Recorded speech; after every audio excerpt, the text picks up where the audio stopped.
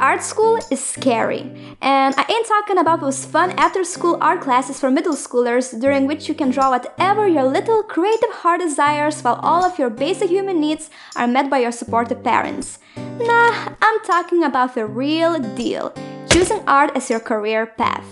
My late teen years were basically spent pulling this ass away from the art path as strongly as my non existent will allowed me to until one morning I woke up and said to myself, Ah, it's, I suck at everything else, so I might as well give it a shot. My entire family viewed the Academy of Arts as this prestigious place where only the most wealthy and talented children can be accepted to. In their eyes, my big titty anime waifus had no place in such a posh environment. I and my rebellious spirit were more than ready to prove all of them wrong, but there was this one huge obstacle that had to be dealt with. I had only six months left to transform my self-taught ass into something that would fit the European Art Academy standards. So what did I do? I signed up for some art classes, of course. Classes that were hosted by the same academy. I'll be honest with y'all, somewhere deep, deep inside, I was hoping to score some extra points by using my charming personality. If I were you, I wouldn't allow it too much, honey. My first art class was quite an intimidating experience. It was Saturday, 7 am. I was standing next to an abandoned building looking at a plate on the wall that said, The Academy of Arts. I felt the need to rub my eyes a couple of times before asking myself, This can't be the place. Right? The structure of the building was amazing though. It had these beautiful arch halls with huge old wooden windows. It did have that famous European old town aesthetic. But at the time it was abandoned. Mold everywhere, graffiti all over the walls, windows covered with plastic, and the toilet was out of this world. It was still dark and the halls were empty, so it felt like I was all alone in this cold, haunted mansion. While slowly approaching the classroom, I started hearing classical music from behind the huge wooden doors. I step inside and see this middle aged, punk looking man sitting beside a little lamp, holding a wooden stick that had a golden skull attached to its end. Good morning, sir. And I said nothing else because I could tell that the man just wanted to enjoy his morning music. I wondered who this mysterious man could be, and later I learned that he is one of the models that I will have to draw.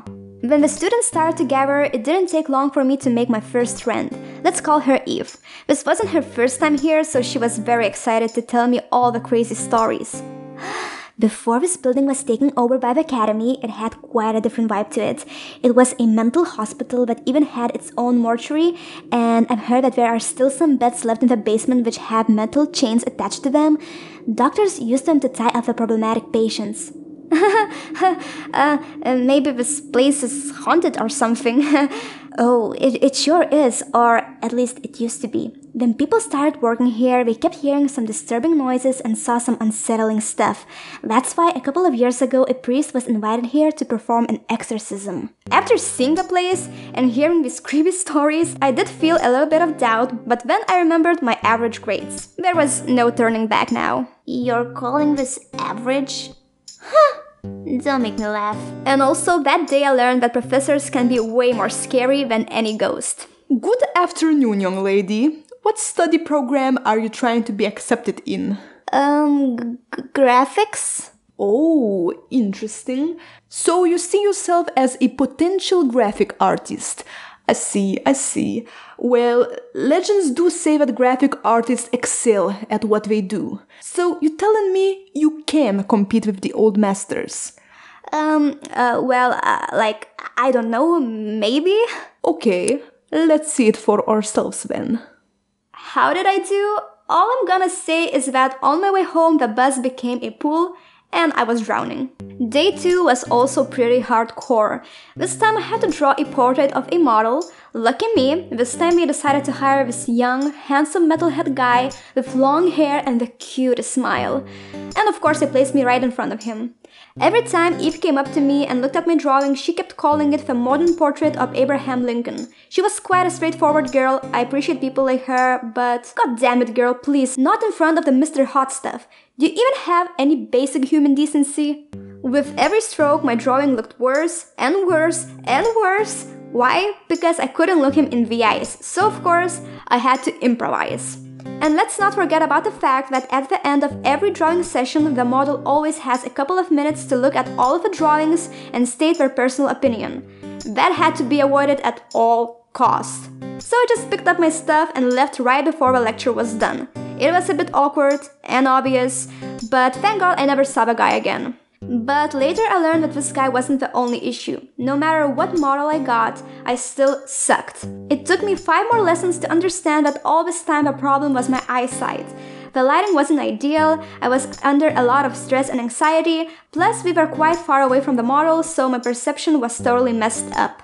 Once I started to bring my glasses with me, I magically became quite a promising student. So I got accepted. But the scary and fun adventures didn't stop there. One day, my classmate Ross invited me to this secret place that will, in his words, inspire me like nothing else. Um, I have a few very specific guesses what that could be, but I'll just keep those to myself. Good, because it actually was a partially abandoned church that was located quite close to the academy. We snuck in through the back gate and then patiently waited till we got a chance to go through the door without getting caught. There we came across this old man, and soon enough I realized that he is not able to speak. Ross knew the guy, and the guy knew exactly what Ross wanted, so he showed us the international sign that said, Follow me. Up the stairs, we came across this big wall that had some tiny drawings made out of these messy scratches.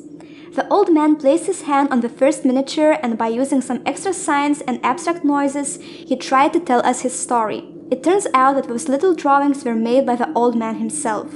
From what we understood, this church used to have two towers which were obviously destroyed, and the man is the sexton of the place. He tried to show us how devastated he felt and how angry he was that the church was led to its current state. Then he invited us to climb even higher. What we saw up there was breathtaking. At the very moment, I knew exactly what Ross meant. All of the church remains were covered in sunbeams created from these little windows, open holes, and other gaps that were able to lead the light through. Thanks to the Academy of Arts and the people in it, I had a chance to experience the most awesome, weird, magical, and crazy moments that sometimes are even hard to believe. Art school made me feel alive. And I'm the one who's keeping you alive. Don't you forget that. And for now, this is it. I have so many more stories I could tell you, but sadly, animating takes time and my two hands are unable to produce super long videos. Thanks a lot for watching my series Life is Scary. Since I've been studying at Academy of Arts for over 6 years now and I even work there now, I can definitely do more art school related stories, so let me know in the comments down below if you would like to hear those. And also, don't forget to subscribe, hit the notification bell, watch my other videos, and see you in the next one. Bye!